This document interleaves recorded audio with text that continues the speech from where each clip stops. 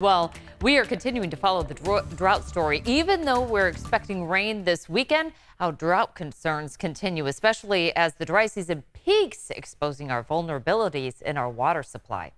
On the tail end of the dry season, California water managers are seeing where we have our biggest weaknesses in the water system at the local, state, and federal levels. Where do we have communities, small communities, especially in the Central Valley, that are physically disconnected from larger urban communities that are just adjacent to them. To create a better water pipeline and portfolio, the Department of Water Resources now making $6 million available to help support construction and design pilot projects that desalinate brackish and ocean water, a process already being used in Southern California. So we bring um, 100 million, million gallons of seawater into the facility each day and we turn half of it into fresh drinking water and the other half goes back out to the ocean with double the salt content. It's also the only local water supply not dependent on Sierra snowpack and local rainfall, an important part of creating a climate resilient water plan. We know that we're facing an historic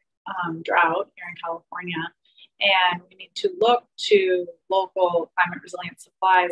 And this isn't just the current drought, droughts are cyclical, and it's just a matter of time before we have our next drought. So we need to be well prepared.